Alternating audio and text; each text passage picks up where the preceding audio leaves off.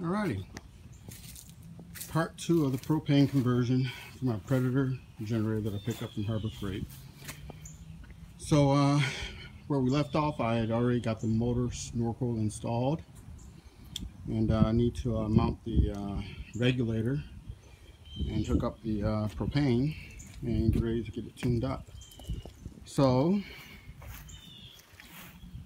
that's where we'll pick up at. Okay, right back.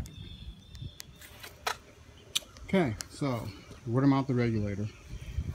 So uh, when you uh, read up on the application and read up on installation, um, you can look at some of the pictures of the uh, two-cylinder engine where they have the regulator mounted. It's normally mounted uh, right in this area, right in this area right here. And the reason is you want to get as close to the carburetor as possible.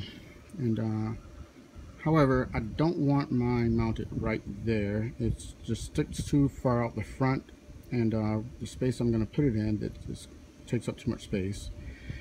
So, trying to find a different place to mount it. What I come up so far is I took this uh, piece of tubing and I uh, bent it and shaped it to fit right about here. Then I'm going to bolt that in place right about there.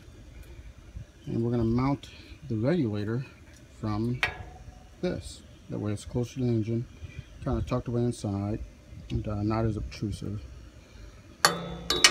Because it has to be mounted lower than the lid if I mount it up too high then the lid won't close. I made up these uh, these two spacers to uh, use as mounts. So let me clamp it all together so I can see kind of what it'll look like.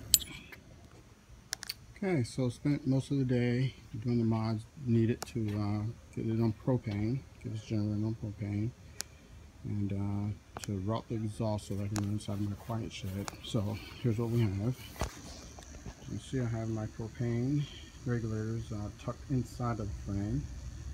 Didn't really want it outside, so again I uh, just took some tubing and formed it so that it would fit uh, as a brace across the top of the frame and uh, suspended the regulators from that. Uh, so the nice part is, since it's on the frame, not on the engine, uh, no vibration at all. So we'll start up here in just a minute and then we'll see how it runs. No vibration. My exhaust, um, because I'm going to run this inside of my quiet shed, I want the exhaust uh, in a certain direction uh, towards the fan that exhausts all the fumes outside of the shed and keeps it cool. So I, uh, I welded the flex tube to a 90 degree elbow and it's just a slip joint that I uh, put a screw in. You see right there I just uh, tapped the hole and uh, screwed a screw in to hold it all together. Uh, that way if I ever needed to take the generator out somewhere uh, that's not permanent, just comes right off. Okay. Again, so the uh, intent is to run this inside of my quiet shed, which is right over there. It's got some cushions in it right now, but I've run it for about three hours today.